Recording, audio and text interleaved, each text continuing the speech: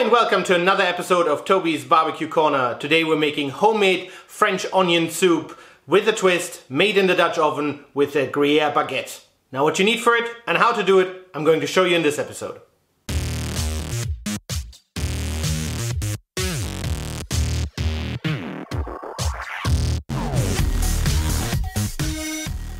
Now, as you might know, onion soup is almost as old as mankind. You know, um, obviously onions back in the days were plentiful, they were cheap, and they were easy to cook. Now, we're doing this with a bit of a twist today, so I'm going to show you the ingredients in a second. And um, so we're putting a little bit of a twist on the original French onion soup. Um, now, obviously you don't have to do this, but I think it adds a lot more flavor to the dish. And this is what we need for today. Now, I know it does look quite a bit, uh, but you only get about five portions out of this, so don't worry about it. But uh, without further ado, you need some unsalted butters, you need some beef fat, you need some yellow onions, and that's about two and a half kgs. You need your favorite beef rub, a couple of cloves of garlic, about a half a cup of dry sherry. You need some flour, some Worcester sauce, a baguette obviously, some olive oil and Gruyere cheese. And then we're going to make our own beef stock. And what you need for it, you need about two liters of beef stock, uh, about a liter of water. You need a couple of diced carrots, diced celery, um, a couple of sprigs of thyme, leaf, parsley, uh, a little bit of pepper, and you need some short ribs. And these are some lovely short ribs from a young bull. Now you can use one, I'm going to actually use two. First of all, because I had them. Secondly, because I want to really have that rich, beefy flavor in it. As usual, let's get the cutting out of the way and um, as we're going to strain the vegetables later on from the broth, so don't worry to cut them too thin. I did peel them though, um, but obviously if you wash them, that'll be fine. So that's for the carrots. And we're gonna do the same with the celery. And you need about, uh, let's say three quarter of a cup uh, to one cup of celery as well as carrots. But obviously, again, that's uh, just eyeballing it. You can, you can, I don't know. You can measure that however you like. And then with the garlic, very simple. You know, I mean, it might be a while until we actually use it. But let's get that out of the way as well. So you want to finely mince that because that will go into the soup later on. And then we're gonna take care of the onions. Now I've chosen sweet yellow onions, um, but you can use obviously any onion you like. But um, I really like the taste of these. So what you wanna do is you want to obviously peel them, you know, and then slice them up into nice little slices um, to give them a great texture overall. So what you do is you half them and then you just slice them up. You can go um, kind of like this, so you get these long ones, um, or what you can do as well as you can also cut them across basically the grain, uh, giving you a finer texture.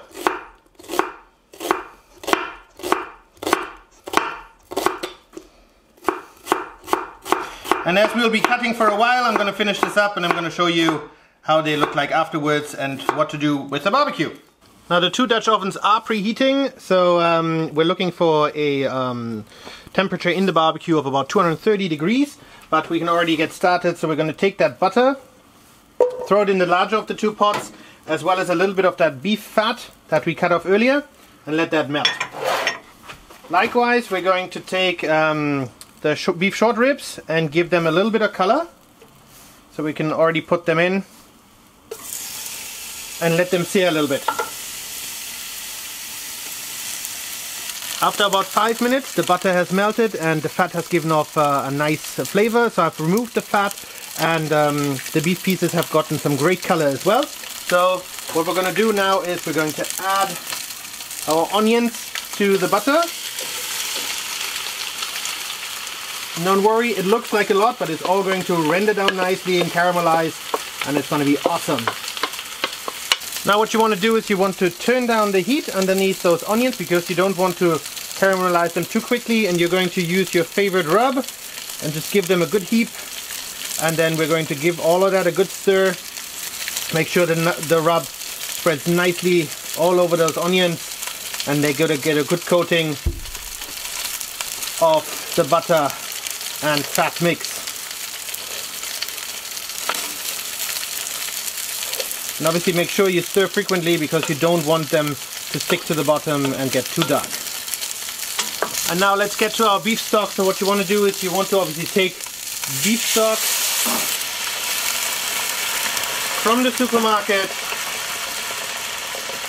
and we're just going to add our own flavor to it with that additional beef so that's going to be awesome now what you want in the end you want to reduce it down to about two liter uh, sorry one liter of uh, very intense beef stock. So we need two liters of beef stock because obviously we want to reduce it down. I'm to throw in our vegetables. Now obviously no onions because we have plenty of onions in there. Then the bay leaves parsley as well as the thyme. Just throw them in. Top up with a liter of water. And now we let that simmer and reduce down and in the end add a little bit of pepper to it now you can use two whole peppercorns I prefer to have freshly ground pepper I think it just adds a lot more flavor to the dish Alright, about 15 minutes later, let me just show you what's happening. So this is nicely bubbling away, so we're going to reduce the heat now on the stock. And obviously, yeah, make sure that you stir this every 10 to 15 minutes. But as you can tell, it has already removed down quite a bit. So we're on the right track here. Alright guys, it's been an hour, so let me just show you very quickly. So obviously, the onions have uh, released a lot of moisture. So, um, yeah, but nothing is sticking to the bottom. I've stirred it every 10 minutes, so you should really do that as well. And then obviously over here our very own beef broth is sizzling away or simmering away I should say um, very nicely so I can't wait to taste that later on so we're gonna let that uh, cook for another hour and then we'll see where we stand two hours are up we've now nicely reduced our beef stock so we're to take that off strain it and then we're going to move um, the onions into the hotter zone to make sure that the moisture evaporates and then we're going to move on. Right, here we go. So I got my strainer. I've already removed the um, beef. So I'm going to show you what to do next with the beef in a second. So we're going to try to strain it without making too much mess. But guys, let me tell you, the smell is absolutely amazing.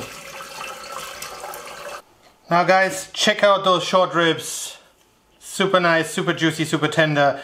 So what we're going to do now is we're going to shred them up and that's going to give us that kick that we're looking for in our onion soup. Now I do know that the, in, the in the traditional um, French onion soup there is no actual uh, beef, but uh, I mean we cooked it so would be a shame to throw it away. So we're to shred that up and to introduce it back into the meat. I mean look at it, it's come off cleanly so absolutely amazing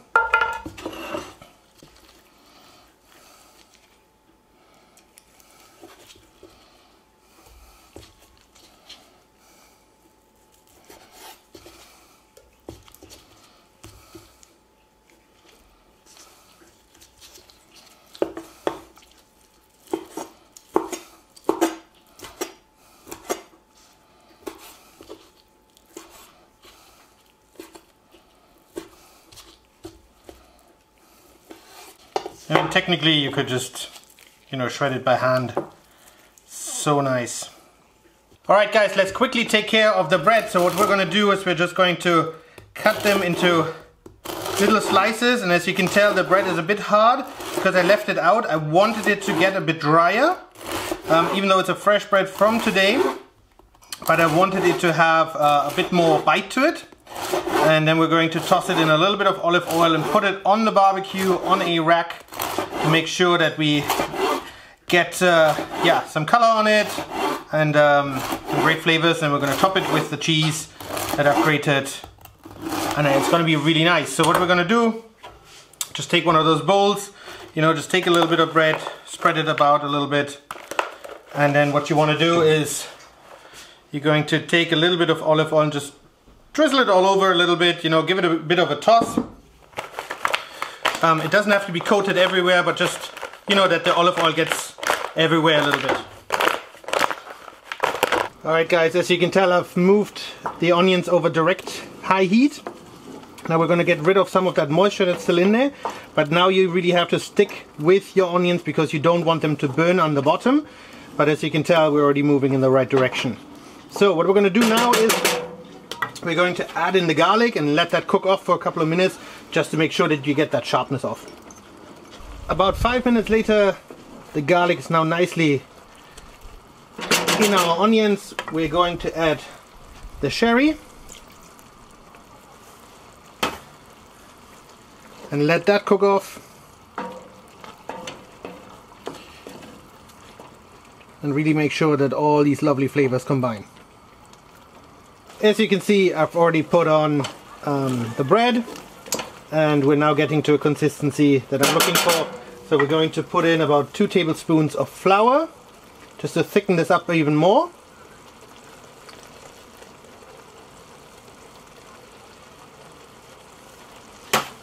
Give it a good stir.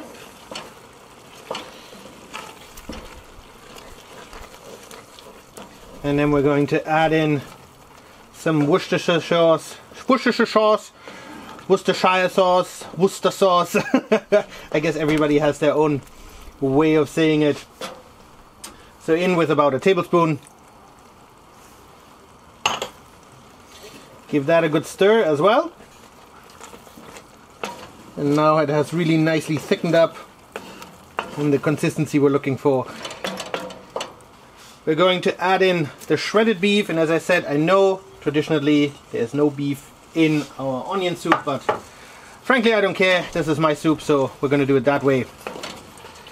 Alright we're going to let that come up to a temp and then we're going to add the beef stock and um, I've actually managed to produce a little over a liter of beef stock but um, well it's better to have more beef stock than too little but if you have too little and you've reduced it too much you can just add a little bit of water to it. It will not dilute uh, the result too much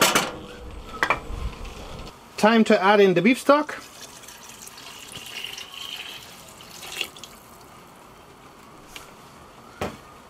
we're going to bring this up to a boil and then we're going to remove it cover it let it sit there for a little while longer until the bread is ready and obviously we still have to add the cheese to the bread. Now let's take care of the bread. So what I've done is I've turned this burner and this burner to full, turned off the one on the bottom, and now we're going to add a generous heap of cheese on our bread. And in order not to mess up the barbecue too much, obviously I'm using a pan underneath. Now we're going to let that melt right on top of that bread. And then we're almost ready to eat. Alright guys, we're all done. So let's plate up. Nice onion soup, the smell is amazing. And I think it really works if you add in the beef. It just adds a lovely flavor to it. The cheese has melted off the bread, so we're going to put that on there as well.